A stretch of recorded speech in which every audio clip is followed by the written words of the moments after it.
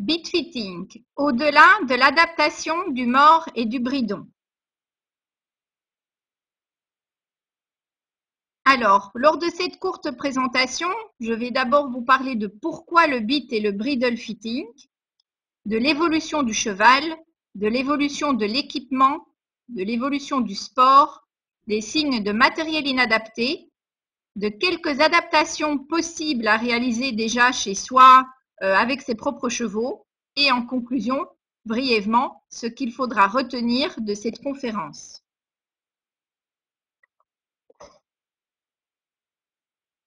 Alors, pourquoi le bit et le bridle fitting? Est-ce un effet de mode? Est-ce une réelle nécessité? Qu'est-ce qu'un bit fitter? Y a-t-il des formations? Et quel est l'avenir? Alors, ce n'est pas un effet de mode même si on entend beaucoup parler de bitfitting pour le moment, et moi, ce que j'aimerais bien aussi, c'est que ce ne soit absolument pas un effet de mode, mais plutôt une réelle nécessité. Alors, quand on entend parler de réelle nécessité, beaucoup de personnes me disent oui, mais tout dépend de la main du cavalier. À main légère, pas besoin de bitfitter ou d'adaptation du mort et du filet.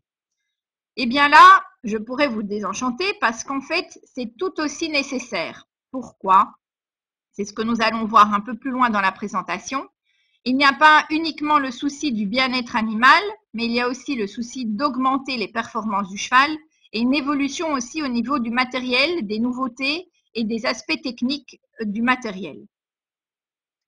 Alors, si on veut parler de la main légère du cavalier, je vais faire une petite comparaison qui va vous être très claire tout de suite.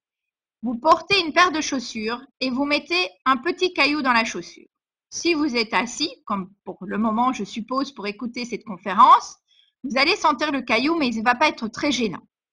Par contre, à la fin de la conférence, vous allez peut-être parcourir un 100 mètres.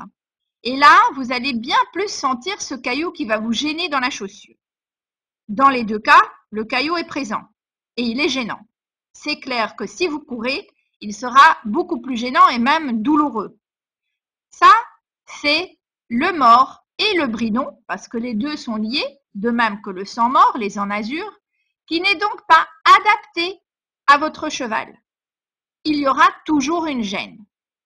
Et bien évidemment, si la main est plus dure, c'est le marathon de 100 mètres, l'effet sera beaucoup plus ressenti que si la main est douce, vous êtes assis à écouter la conférence avec le caillou dans votre chaussure. Dans les deux cas, le cheval va être concentré sur la présence de ce caillou et il y aura une gêne. Donc, en fait, le rôle du bitfitter sera de vous conseiller et doter cette gêne pour le cheval, pour avoir plus de confort. Quand le cheval aura plus de confort, il sera aussi beaucoup plus à l'écoute de vos demandes, c'est-à-dire de la demande ou des demandes du cavalier. Alors, pourquoi est-ce qu'une réelle nécessité? Eh bien, nous allons donc le voir dans la suite de la présentation.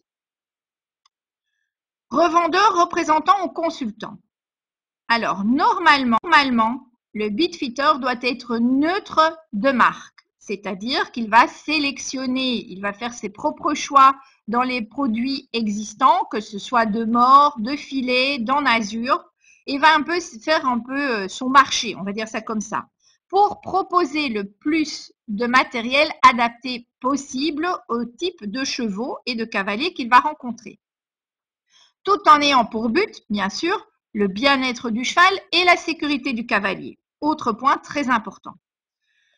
Normalement, ce n'est pas un revendeur ni un représentant de marque. Il doit avoir un une consultation avec un avis objectif. Alors, une des questions généralement posées, y a-t-il des formations Est-ce un diplôme reconnu? Malheureusement, le diplôme n'est pas encore reconnu. Il y a des formations, il y a notamment une formation en France, mais ce n'est pas encore reconnu, de même que les formations à l'étranger. Il y a des associations professionnelles, dont une en France à nouveau, et il y a des associations à l'étranger et nous essayons bien entendu de nous accorder sur nos façons de travailler et de nous maintenir au courant des nouvelles études scientifiques, des euh, nouveaux matériaux proposés sur le marché. Est-ce que c'est une formation est un métier d'avenir? Eh bien oui, je le pense. au plus je le vois dans mes consultations, au plus je me rends compte qu'il y a un réel euh, besoin d'avoir des conseils avisés en tant que cavalier, professionnel et objectif sur le matériel à utiliser. Et ce, pour tout niveau. Il ne faut pas croire que parce qu'on est euh, professionnel ou plutôt cavalier de loisirs, que ce n'est pas nécessaire.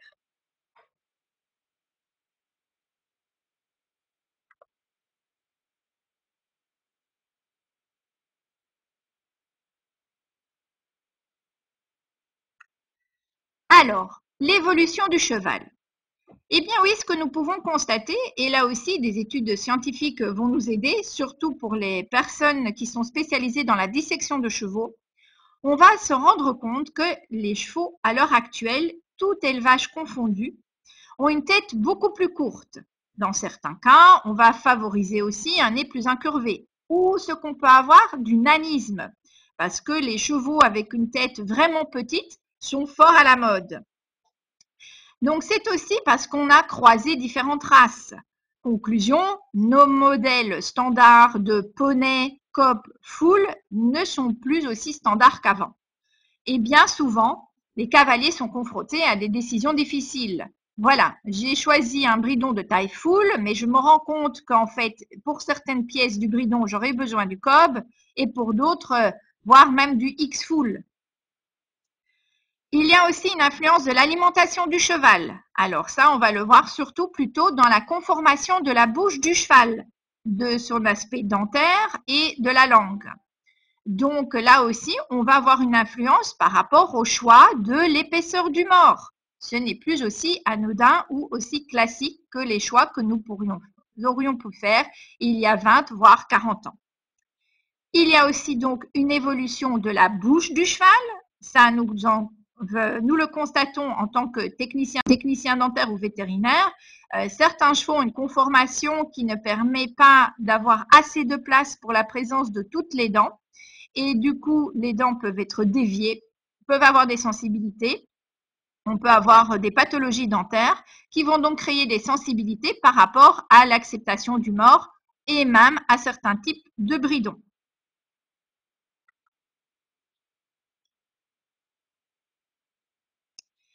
Il y a également ces dix dernières années une évolution de l'équipement. Alors, si on regarde, c'est vraiment récent, récent, et on peut dire que grâce au beat fitting et grâce à l'évolution du matériel, on va dire que c'est un train qui est en marche et que ça se développe de plus en plus. On peut voir que de nouveaux produits ont été développés, créés, certains avec des recherches scientifiques à la base, d'autres non, mais il y a une réelle évolution au niveau du marché. Il y a aussi donc des nouvelles découvertes technologiques, que ce soit au niveau des matériaux, par exemple des morts, des études scientifiques à propos des matériaux, de la position du mort dans la bouche, des points de pression, de l'influence des anneaux du mort, des développements de nouveaux modèles de mort et de bridon, et même de sang mort, toujours en ayant euh, en tête le bien-être du cheval et des choses beaucoup plus ergonomiques. Il y a donc des possibilités d'adaptation à l'heure actuelle, ce qu'on appelle donc le bit et le bridle fitting, ou le, plutôt dans le bridle fitting, on va pouvoir comparer différentes formes, par exemple de bridon, et combiner différentes tailles au niveau du bridon pour en faire une pièce unique adaptée à votre cheval.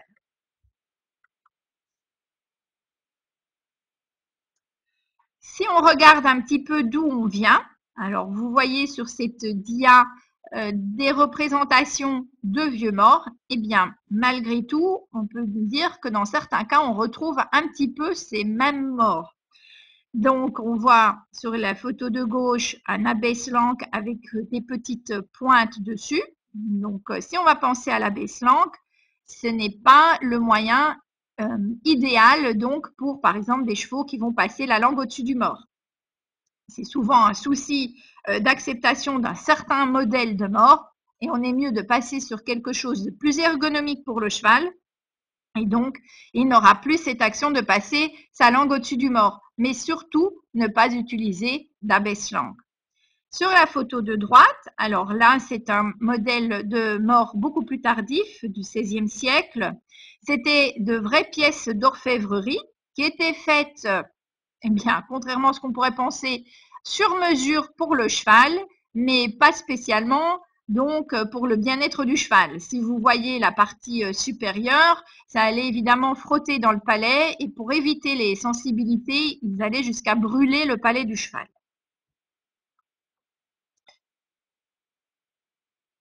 L'évolution du cheval de sport et du cheval de loisir. Le cheval de sport est considéré comme un athlète entouré d'une équipe pluridisciplinaire.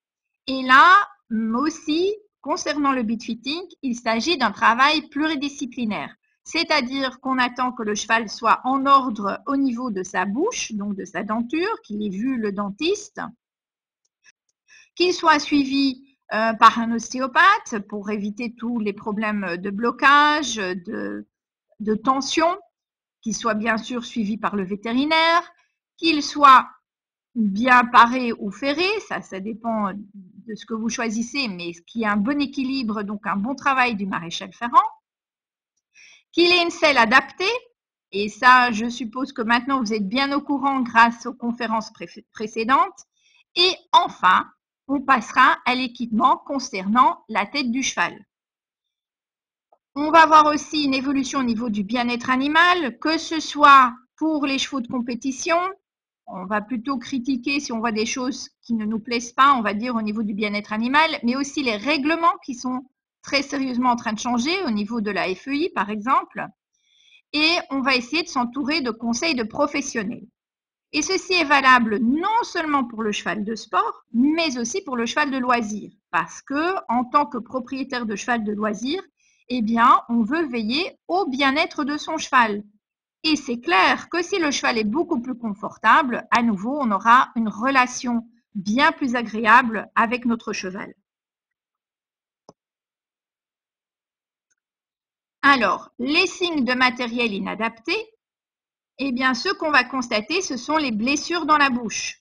Alors, quelque chose de facile à voir comme cavalier, ce sont plutôt au niveau des commissures des lèvres, où on va voir des petites coupures, la présence de petites peaux, euh, des petits durillons, par exemple. Ça, c'est facile pour, euh, comme cavalier à observer. Mais je vous invite aussi à regarder un petit peu dans la bouche de votre cheval c'est-à-dire par exemple sur les barres, là où va aller s'appuyer le mort, est-ce qu'il y a des présences de rougeur, voire de plaies au niveau de la langue? Et si vous n'êtes pas sûr de vous, surtout n'hésitez pas à demander l'avis du dentiste ou du vétérinaire pour regarder dans la bouche et vous dire si oui ou non il y a de présence de lésions dans la bouche. Par exemple, la présence de suros, vous allez voir ça dans une diapo suivante, est beaucoup plus difficile à dépister puisqu'il faut aller la sentir. Les blessures sur la tête sont par exemple les signes de frottement ou la présence de poils blancs ou de suros aussi présent au niveau de l'os nasal.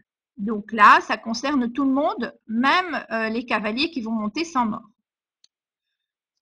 Pareillement, dans les signes de comportement du cheval, on peut avoir un cheval qui va être dur en bouche, qui va rompre le contact, qui va secouer la tête, qui va montrer des réactions de défense, qui va s'encourir quand vous allez vouloir lui mettre le bridon, ou un cheval qui va sortir la langue. Donc, on peut avoir différents signes d'inconfort, plus ou moins marqués, qui vont montrer donc euh, les signes d'un matériel inadapté. Donc ici, sur ces photos, vous voyez sur la photo du haut une langue qui a été sectionnée. Donc euh, c'est du tissu cicatriciel. Euh, ça a été sectionné dans ce cas-ci par un mort qui était fait sur mesure et soudé à la main. Donc voilà ça a fait euh, certaines plaies sur le cheval avec une sensibilité malheureusement à vie. Sur la photo du bas, vous voyez au niveau de la commissure des lèvres une euh, rougeur qui est présente. Donc euh, là, je vous dirais aussi, il y a des chevaux qui sont plus sensibles, mais dès que vous voyez ça, posez-vous tout de suite la question, est-ce que mon mort est bien adapté ou non? Photo du haut, là vous voyez indiqué par euh, les flèches rouges, ce sont des périostites, présence donc de surose sur les barres. Il faut savoir que ces lésions sont dues au frottement du mort et sont présentes dans 30% des chevaux, que ce soit des chevaux de, de CSO ou de dressage. Malheureusement, selon une étude danoise, dans 50% des Islandais de sport, et malheureusement aussi ce qui était constaté dans 50% des chevaux d'attelage. La flèche bleue, comme vous voyez, ça c'est plutôt une crevasse dans l'os, juste présente devant la première prémolaire inférieure. Et donc, euh, vous voyez aussi que ça c'est aussi malheureusement dû aux morts. Donc, ce sont des choses à éviter. La photo du bas, c'est une, donc une présence d'une crevasse au niveau de la commissure des lèvres. Alors, vous voyez, c'est une bouche de cheval, on peut dire qu'il est un peu plus charnu. Donc, ce sont des chevaux qui auront déjà aussi beaucoup plus de sensibilité, des tendances à être pincés par certains types de morts. Donc, euh, c'est vrai qu'à nouveau, ce seront des chevaux où le conseil d'un professionnel sera nécessaire pour faire le bon choix. Photo du haut. Alors, vous voyez un cheval qui va être plutôt en défense. Alors ici, ça peut avoir plusieurs causes, c'est-à-dire le cheval qui peut avoir des problèmes de dos, peut avoir un problème, de selle mal adapté, mais aussi un problème de mort et un problème de filet. Ce sont des chevaux qui vont un peu faire la, girafe, comme j'appelle ça, c'est-à-dire porter la tête très haute, basculer la tête, euh, fuir le contact du mort, euh, déplacer le mort dans la bouche euh, assez régulièrement. Donc, ils ne vont pas être stables au contact. La photo du bas, là, vous voyez plutôt que le cheval est sous tension à cause de la muserolle, mais aussi de la tétière. Vous voyez, le, le cheval essaye d'ouvrir la bouche, mais il ne peut pas, mais donc il n'est pas confortable du tout. Quelques adaptations sont possibles. Donc, on va déjà choisir le bridon et le mort en fonction de la discipline. En effet, si vous voyez sur la photo de droite sur cette dia, il y a des interactions avec toute la chaîne musculaire du cheval, donc en fonction du matériel utilisé. En effet, en fonction du type de mort, le cheval va positionner correctement ou non sa langue dans la bouche, positionner ou non correctement sa tête, et donc avoir des actions aussi de mouvement du corps très différentes en fonction du type de discipline.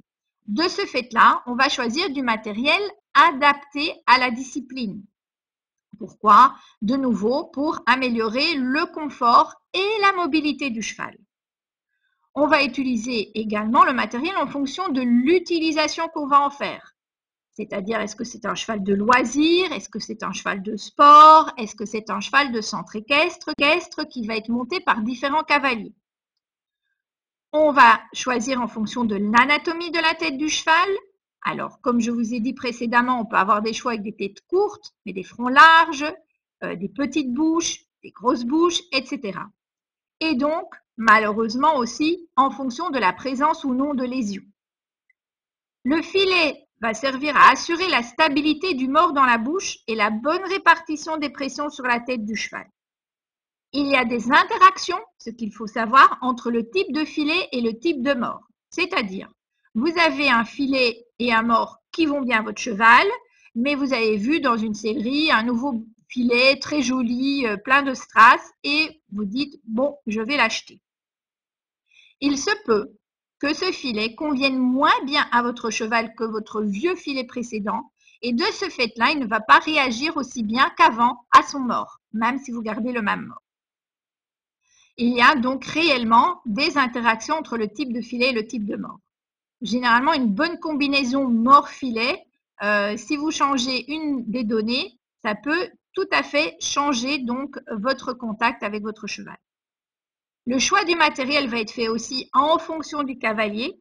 des cavaliers qui ont des mains plus stables, moins stables, qui sont plus débutants, plus professionnels, en fonction de leur capacité physique aussi également. Par exemple, des personnes qui disent, voilà, moi j'ai eu une fracture du poignet, donc je suis moins euh, sensible ou plutôt plus sensible de ce côté-là, eh bien, on va essayer de, de trouver le matériel qui sera le plus confortable et pour le cavalier et pour le cheval.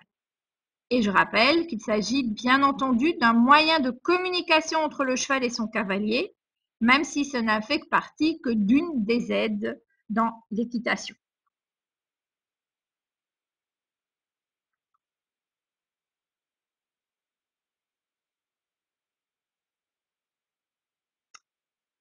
Alors, donc vous voyez ici, en fonction de la discipline, donc on va utiliser du matériel différent.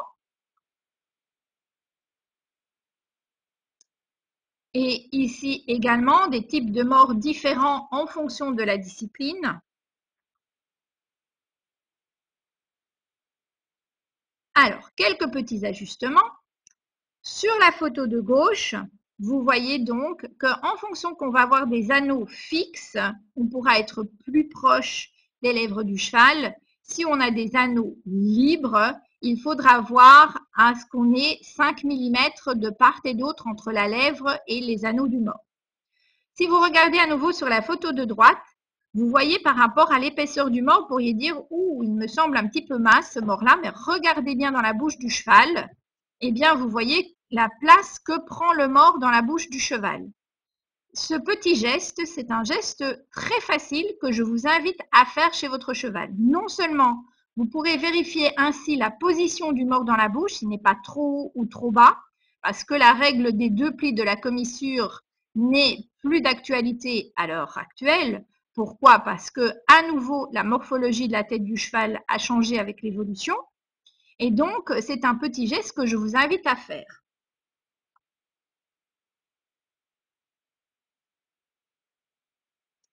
Vous voyez ici différents types de tétières, photo du haut avec un, avec un élastique, photo du bas, euh, donc des tétières décalées. Là aussi, il faudra veiller à ce que ce matériel soit bien ajusté et qu'il convienne bien à votre type de cheval. Et en fonction de l'anatomie, de la tête de votre cheval et en fonction du sport exercé et bien sûr aussi des règlements, que ce soit de la FFE ou de la FEI. Pour ça, il faut bien se renseigner. Mais donc, euh, tout euh, les modèles n'iront pas à tous les chevaux. C'est ce qu'il faut retenir. Et on va comparer cela avec nos paires de chaussures. Même si nous allons tous demain au magasin chercher une paire de chaussures de sport, on va bien voir sur tous les membres euh, ici, tous les participants à la conférence, il y a de fortes chances que nous achetions des chaussures ou des modèles différents, même si dans certains cas, deux, trois personnes auront le même modèle. Eh bien, c'est exactement pareil avec nos chevaux. Des petits points euh, à retenir pour l'adaptation du bridon. Bien veiller à ce que le frontal ne soit pas trop serré. Bien veiller à ce que la tétière dégage bien les oreilles. Vous voyez même ici sur cette image, euh, la tétière est encore trop près des oreilles, donc peut créer un point d'appui derrière les oreilles. Au niveau euh, des museroles, à nouveau, bien protéger tout ce qui est partie osseuse. C'est très important aussi pour le confort du cheval. Donc, nos points de pression derrière les oreilles, au niveau des articulations temporomandibulaires, n'y ait pas trop de pression à ce niveau-là. Une muserolle également bien adaptée, bien réglée, pas trop serrée. Et ça vaut pareil donc pour les enazures, comme vous voyez sur la photo de droite. Vous voyez aussi tous les systèmes nerveux qui passent. Donc, si on a des montants, par exemple, trop serrés ou des nœuds mal placés, on peut créer des pressions très inconfortables pour le cheval. À nouveau, quels sont les points à protéger? Vous voyez aussi pour tout ce qui est à gourmette, le mieux est de mettre une protection parce que là aussi, nous avons des vaisseaux nerveux qui vont passer et donc euh, il faudra protéger et éviter les plis de peau.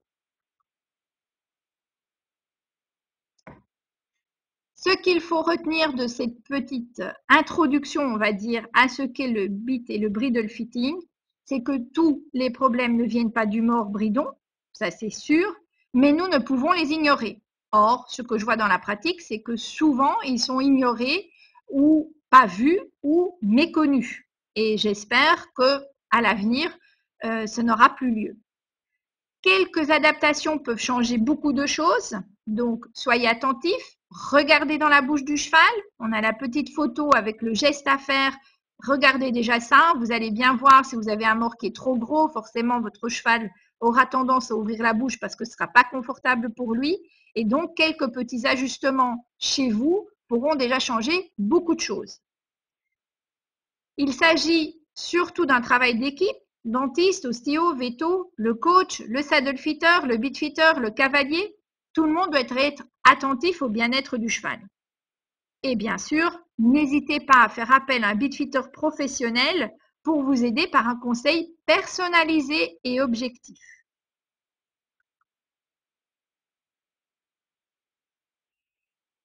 Je vous invite donc à poser vos questions. N'hésitez pas aussi à rester en ligne pour répondre euh, au questionnaire de satisfaction, donc ne nous quittez pas trop vite. Les prochaines webconférences reprendront donc le 10 septembre et vous pourrez voir qu'elles seront annoncées sur le site Wikipédia IFCE. Et je vous remercie déjà, d'ores et déjà, pour votre attention.